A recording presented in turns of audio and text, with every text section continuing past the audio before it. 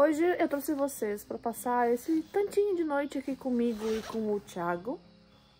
Tá no celular. É, faz tempo, faz quase um mês que eu não venho aqui no rancho. Daí hoje me deu aquela vontade. Ah, quero ir lá em casa. Tô com saudade de casa. É um sentimento bom, na realidade. Faz tempinho que eu não venho aqui. E os últimos 15 dias foi assim, ó. Um avalanche de emoção e turbilhão de muitas coisas acontecendo. Desde o que aconteceu com a minha mãe, que eu contei pra vocês no último vídeo. Aí vai fazer uns 20 dias que eu perdi uma das nossas... Que a gente, né, perdeu uma das nossas cachorrinhas de...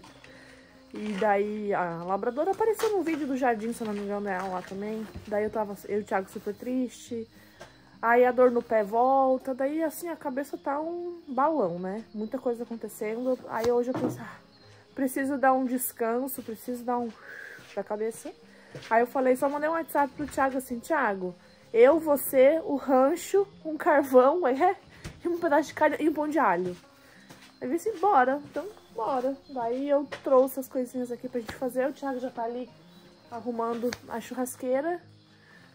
E é isso, eu vou filmar um pouquinho desses momentinhos aqui, vamos conversando. E vou filmar fazendo pelo menos o pão de alho pra vocês. Vai, Thiago? né? Vai, Thiago. Isso. Vamos assar Fica- assim, ó. A carne de gaudério. Peraí que eu vou ir mostrar, vou ir mostrar. O que tu comprou aí de carne de diferente? As mais baratas. Mas são carnes baratas que a gente descobriu há pouco que fica bom um churrasquinho, Não, né? é barata, porém não. Porém, elas não estão na promoção.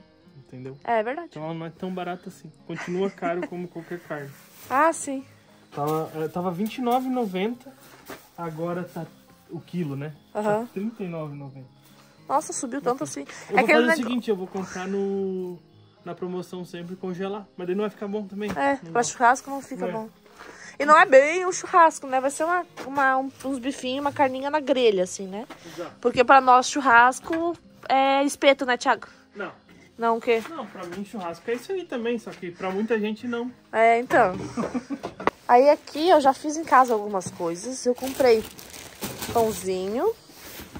Essa aqui é a minha sacola de carregador de celular. Mas olha que legal. Eu ganhei de uma amiga, é uma marca. Tem o meu nome. Essas sacolas multiuso aqui são bem boas. E aí eu trouxe já uma maionese pronta de casa e temperinhos e coisas pra melhorar ela e vou mostrar pra vocês.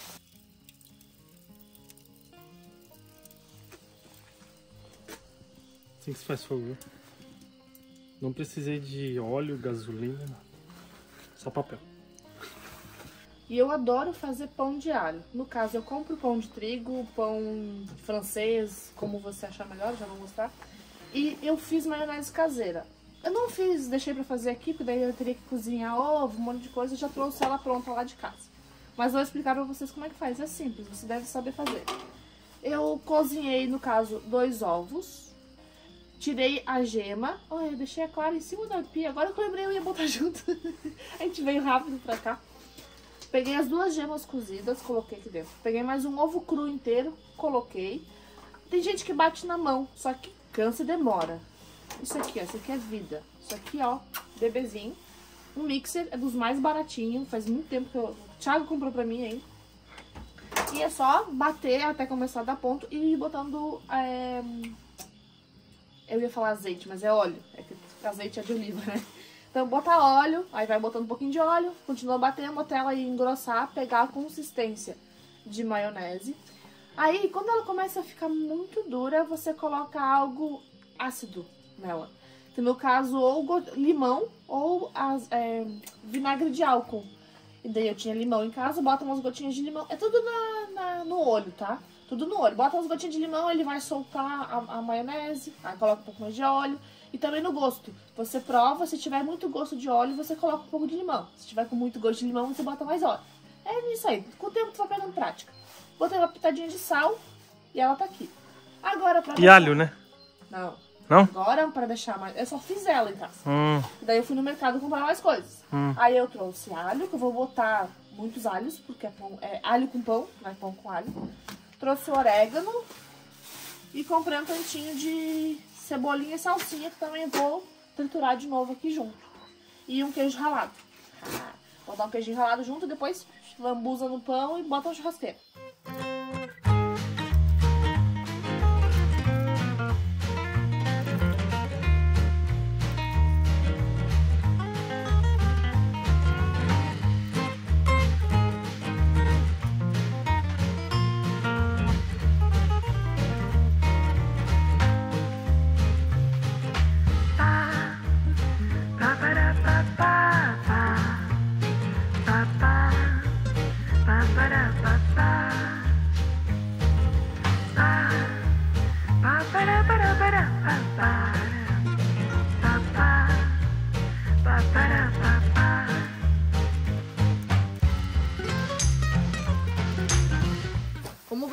Ali, eu só descasquei o alho, joguei aqui dentro, lavei os temperinhos verdes, joguei inteiro mesmo, porque o mixer faz o, tra o trabalho de picar tudo, né?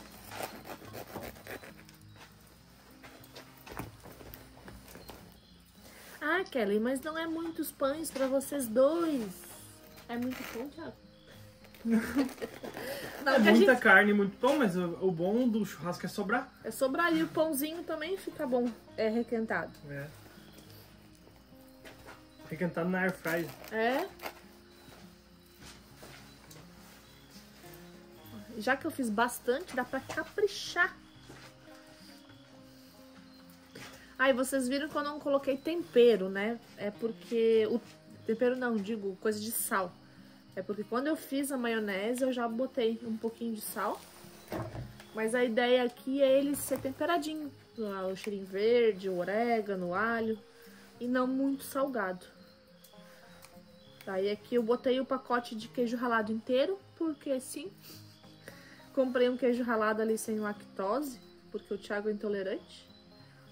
Nossa, isso aqui vai melecar a, a churrasqueira. e é bom também deixar um pouquinho desse molho, porque é bom comer com a carne. Eu tinha pensado hoje em fazer um pão com linguiçinha. Mas daí, porra, linguiçinha... E linguiça de frango que tu come, não. É meio. É, então, mas tava pra fazer as duas. Mas mesmo assim, nem eu curto muito a linguiça de frango. E é chato de fazer também. É, Demorado. demorado. E eu não como linguiça de porco. Não porque eu não gosto, mas é que eu, me dá alergia, me estoura a boca toda. É. De qualquer coisa. Eu acho que não é o porco, porque eu como bacon, como carne de porco, tudo não tem problema. O meu problema é algum condimento, sei lá, que eles colocam na linguiçinha de salsichão, né? A galera fala linguiça de porco, é, calabresa. Aquela calabresa fininha chega a me a, é, dar. Enformigar, enformigar os lábios, assim, amortecer e começar a querer fechar a garganta. Aquela calabresa bem fininha, assim. E assim, ó, eu não preciso às vezes. A da calabresa, ó. A da calabresa, eu não preciso nem comer a calabresa em si. É, como é que fala? Contaminação cruzada. E se, é, por exemplo, às vezes, eu- isso que é, por exemplo, o sabor de pizza do Thiago preferido é de calabresa. Aí eu sempre tenho que pedir pra eles não misturar, porque às vezes ali o pizzaiolo lá bota a calabresa por baixo do meu brócolis e daí me dá ruim. E só que a calabresa grandona, se eu encostar, não tem problema. Mas a fininha, uma vez eu comi em restaurante de buffet, assim, daí tinha purê de batata com calabresa. E eu assim, ah, vou comer só o purê, não vou comer a calabresa, né? Na hora que eu botei na boca, eu senti o gosto da calabresa, ah, dá uma horinha, já começa a empipocar tudo a boca, assim. Calabresa no feijão também, eu não preciso nem comer a calabresa, tá, tá ali, ferveu no feijão, já era. Enfim. Agora é esperar o fogo ficar pronto, botar... Ah, ali a brasa? Ah, tu já colocou? Thiago já tá aqui virando a carne, olha que delícia. Tô virando só por, pra saber como é que tá. E aqui a gente pegou o costume de não salgar com sal grosso e tal, a gente usa o Sal de parrilha. sal de parrilha. Depois de pronto, a gente bota aqui e... Faz tempo é, que a gente soube pelo André, né? Não lembro. Eu acho que é o André, nosso É? Capitão Sorvetes, Aham, né? Segue lá. isso. E, e é mais fácil, é mais legal também. Só que quando eu faço no espeto, não, daí eu asso. Sim, normal, né? É. Mas assim de, de bifinho, assim, de cortar em pedacinho, a melhor coisa é... Quando eu faço no espeto, Esteim! Última vez que eu fiz que eu assei carne no espeto foi eu morava em Florianópolis. É, Faz tipo, dois anos. Foi num, Réveillon, num Natal ainda, né? É, Um depois, Réveillon, não depois eu conheci o melhor churrasqueiro do mundo, que é o Júlio. Então ele que assa sempre quando a gente tá aqui. Isso. Mas hoje a gente veio sozinho, não contratou ele hoje. Acabou disso. E fogo é bonito, né? Seja fogueira, seja brasa. Uhum.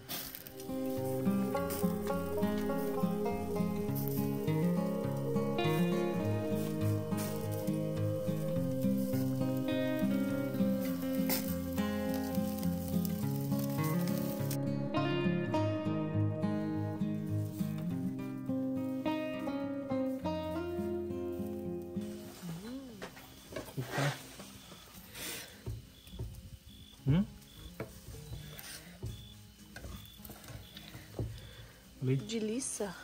Então, acho que Tá mais? bom, não, tá bom. Tá bom, né? Vamos? Muito bom. Agora a gente pega esse aqui e... Uma picadinha. Ah, sim, mas já coloca aqui, ó. Tchum, tchum, tchum. Prova aí um. Vou um pedaço.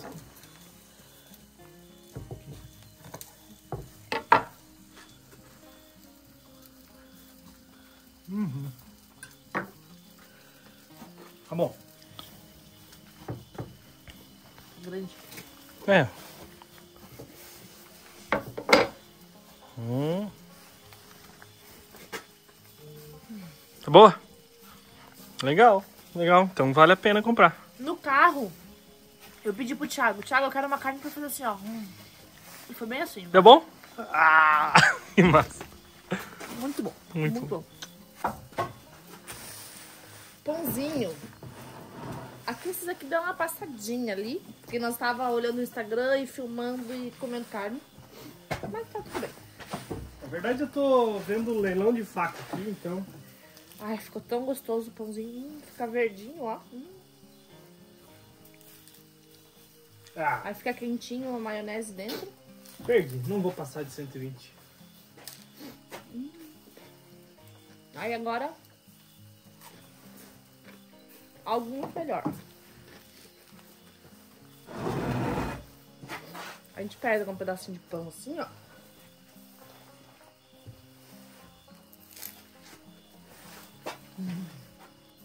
Eu não sei o que tá mais gostoso. O pão ou a carne? Hum. Não, não pegou o pão ainda. Tá bom? Gostou mesmo? Sim. Hum. O vídeo todo vai ser. Hum, Hum, pô, tá bom. hum. Thiago, Hum, aproveita que tá aqui gravando, nós estamos tudo sujo. hum. Faz propaganda do seu negócio. Então, eu tô me aventurando na cutelaria artesanal. Não, não tô fabricando nada, né? Eu tenho um parceiro que é cuteleiro, que é é da família da, da Kelly. E ele tá fazendo umas artes únicas. Não, é a coisa mais linda. Os É, ele trabalha com eletrocorrosão e pontilismo, né, os desenhos. Então, tudo que eu vou vender na questão ah, com ele, né, é com essas artes nessa, nessa técnica. né. O meu intuito é centralizar maior número de cuteleiros artesanais possíveis comigo e eu apresentar para o meu público, né? E o pessoal gostou pra caramba, é, um, é uma arte mesmo e eu realmente incentivo ao cuteleiro criar uma arte, eu não fico pedindo o que, que É, tem que e fazer. o mais legal que são desenhos únicos. É. Porque como o cuteleiro tá ali trabalhando, tem uma ideia, risca aqui, risca ali, e de repente sai um desenho que ele não vai conseguir repetir depois. Isso. Ele pode até tentar, mas nunca vai ser igual. Então são, são peças exclusivas. É que eu, eu, eu vou pelo que eu gosto no arte- no artesanato. Eu não gosto de repetir. né? Eu faço um negócio, eu não tenho vontade de fazer igual de novo. Eu go- Eu faço outro de outra forma, mas igual não. Então, eu gostei que o Léo, né, que é, que é o cuteleiro que, que, que trabalha com junto, é, ele também curte fazer essas artes, ele desenha muito bem, ele faz um trabalho muito bom. Só que ele Então- tá cansado, né? Porque chega as, as peças pra ti, tu vende rapidinho, ó, já tem que pedir mais. É, então, isso é bom. Ele, pra ele é bom, pra mim é bom, então pra quem comprar é bom, também é uma boa experiência, né? Vou deixar aqui na descrição do vídeo o Instagram que o Thiago fez É. pra divulgar as fotos, daí pra comprar. É diretamente no Instagram dele, tu chama ele lá e, e pede, ou tu fez também uma lojinha no, no Mercado Livre. É, na ver- eu não consigo, não dá tempo de anunciar no Mercado é, Livre, né? Que vende tudo antes É. pelo Instagram, né? Mas assim, é lá no Instagram, eu, eu criei o Artefatos Azoline porque realmente eu não me prendo só à cutelaria. Isso, é. Eu começando pela cutelaria, mas eu quero, nem eu falei pra vocês em algum vídeo do Cortes, que eu quero me Isso. aventurar na- em vender questão Vender de artesanato. coisas. Como eu gosto muito, vou jogar pra vocês aí também. Coisa que eu faço futuramente, agora eu não tenho tempo, mas coisa que eu faço também vai ser comercializado lá. E aproveitando essa deixa de trabalhos únicos, eh, artesanais e que são de certa forma exclusivos para você, vou falar da Morgantes, da joalheria, que patrocina o Mulheres SV e é, além das joias já prontas, ali meio que as joias padrão, aliança, anéis, eles, que eles têm lá no site. Se você tiver uma ideia aí, uma ideia louca, quiser desenvolver isso numa joia, num colar, num pingente, em algo do tipo, é só conversar com eles que eles também fazem. O anel que eu uso, que eu esqueci de colocar ali hoje, é, eu que pensei, fui pensando pedrinha aqui, pedrinha ali desse jeito e foi saiu aquilo ali. Então eu gosto tanto dele porque justamente é o meu gosto. Também estamos aí já nos finalmente, se eu não me engano, já tá no correio pra chegar pra mim que vai ter uma peça aí, um negócio aí exclusivo Mulheres SV. Então fique ligado que eu vou mostrar aqui no canal. E se você olhar lá no site, no Instagram deles, que está na descrição desse vídeo, e gostar de alguma peça, ou quiser mandar arrumar alguma coisa sua, mandar fazer do seu jeitinho, só chamar eles lá. E tem o cupom de desconto, que é o Mulheres. Da, do Mulheres SV, que é o MSV5, que tem descontinho lá pra vocês, beleza? Agora eu vou continuar comendo aqui. Não sobrou muita coisa, né, Thiago? Ah, mas dá um almoço. Não, vai sobrar um almoço, mas É. tipo assim, ó, ah, ó, sobrou um Mas a gula, a gula queria comer os dois pão. Aham, tava bom, né? Os dois pães. Os dois pães, ó, sobrou uma maionese pra levar pra fazer uma carninha. É isso, ficou um videozinho mais de vlog, vlog de algumas horas. Mas é que essa semana foi bem atordoada pra gente, né? Bem corrida de tudo. Então eu não consegui tempo de fazer um vídeo muito bem elaborado pra vocês. Não, olha. Mas existem mudanças. né? Isso é, cobre meu Kelly, porque ela vai ter mais tempo pra isso, tá? É. e a vinda aqui hoje foi justamente é, relaxar, né? A gente tá aqui conversando, vendo coisas na internet, É. pensa, é, planejando Se a- conhecendo um pouco, um pouquinho. Ah, falando isso, né? Hoje é dia 11, ah, pra eles dia 12. pra eles dia 12. E dia 10 agora, de agosto, eu e o Thiago fizemos 11 anos de casados. Parabéns pra Kelly. E não é só 11 anos, são 17, vai fazer 17 anos que isso aqui me incomoda. Me incomoda, mas brilha o olho quando olha pra mim, né? E, e a ideia também, assim, é. Eu desejo que vocês tenham um cantinho, assim. Se ainda não tenham, que tenham. ven- Venham a ter um cantinho onde vocês se sentem seguros e emocionalmente estáveis. Hum, De assim. É o, é o que a gente sente quando vem pro rancho, né? é o nosso refúgio. né? É o nosso refúgio, não só físico, mas É. mental também. Então, fazia quase um mês que, eu não, que a gente não vinha pra cá. Eu não vinha pra cá. É, Eu venho toda semana, Toda né? semana, pra- é. pra. Então, e eu sinto falta. Hoje eu começo, voltou a live ali do, da câmera, né? Daí assim, putz, olha só. Tanto tempo. E a última vez que eu vim aqui foi por conta da, da Bel, né? Que a gente Uhum. veio enterrar a nossa cachorrinha aqui. E daí, tipo assim, poxa, e aí eu tô com saudade de casa. daí eu falei, ah, Thiago, vamos lá um pouquinho. É assim, ó, porque final de semana a gente não vai ter tempo. É. Sábado vai ser correria, domingo também. Porque domingo eu vou lá ver minha mãe como é que ela tá. Então, a... vai ser aquela coisa assim, não vai dar tempo, daí mais uma semana sem vir pra casa. Ah, vamos pegar sexta-feira de noite, passar algumas horinhas aqui, comer uma carninha, descansar, ir pra casa dormir daqui a pouco, tô com sono. que hoje Ah, levantei cedo, é. treinar. Ou- ou então a particularidade, né? Que agora, ainda mais, né? O nosso lar é o rancho, né? É. É, o que é nosso aqui é o rancho, né? A gente conseguiu vender nossa casa. A gente vendeu lá. Então, a gente não tem mais esse. nem, nem considerava, sabe? Mas assim, agora é, consolidado, né? Não temos mais a casa de Florianópolis, É. né?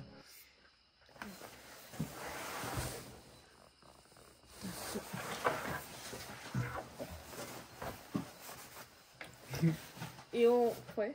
Não, não entendi porque tu. Eu conferir se tava gravando.